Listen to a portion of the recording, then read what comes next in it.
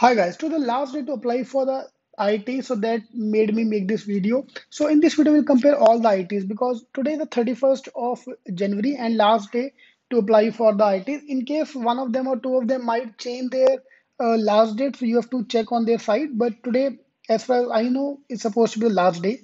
So tomorrow, so 31st is the last day we have. So this call us for the how good the IITs are. So in this video, we'll check out the cutoff fees, average package, everything of the IIT so that you understand and take an informed decision whether to go for it or not. Yeah. So Jan end is always the last day to apply. So we have time for that. So you can think of that applying for that. GDPI will be probably in the month of March. Yeah.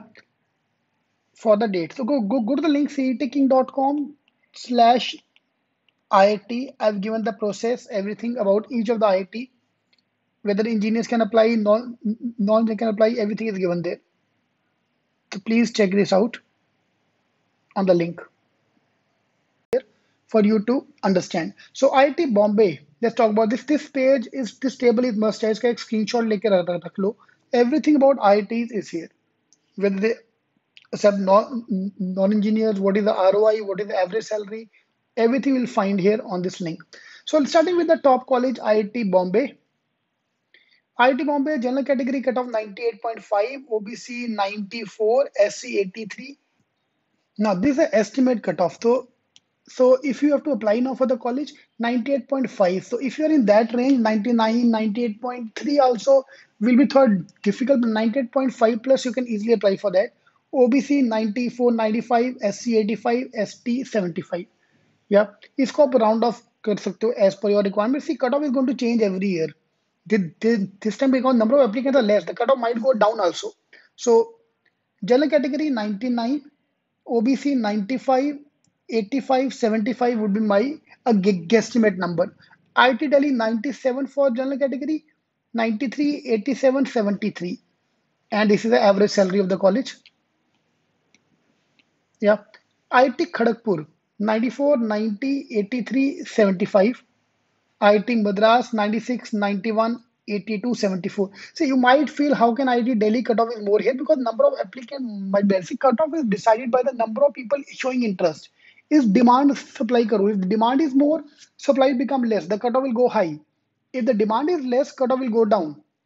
Okay, IIT Kanpur 73, IIT Roorkee 74 for the category. Open wise, this is the cutoff here. You can see the cutoff here. So anybody above 95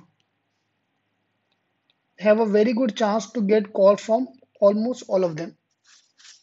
And 95 percentile pay, you are also getting the new IIMs call. And that's where the question come, how good are the new IIMs as compared to this, which I'm covering up now in this thing. So this video is mainly talking about the cutoff for each of the IITs to make you understand. So we can compare here IITs, their fees, ROI, everything in the list here. So this is the table which I made, one table which cover up everything who is eligible this and that. So today's main focus is going to be the average salary. Now IIM ABC average salary is touching 25 lakh plus. Yeah. But if I look at the IIT Bombay average is 20.8 but fees is only 8.8 now if you want me to compare I can easily compare IIT Bombay with IIM Lucknow. So I'm just comparing with which I'm going to compare IIM Lucknow IIM Indore, IIM Kozhikode. So easily we can compare IIT Bombay and IIT Delhi. Average salary is 18.5 for IIT Delhi, but fees is 9.6. So ROI point of view, they are much better than IITs. But of course, we have to look at the brand name also.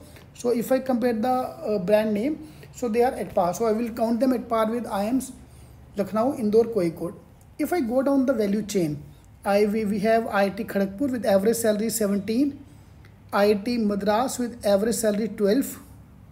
Yeah, IIT Madras will look at afterwards. So if I look at 17.4 lakh a package here, now this IIT Kharagpur, I can easily compare with IIM Shillong and IIM Trichy because their average is also touching around 18, 17, 16 ke aaju hai. Yeah.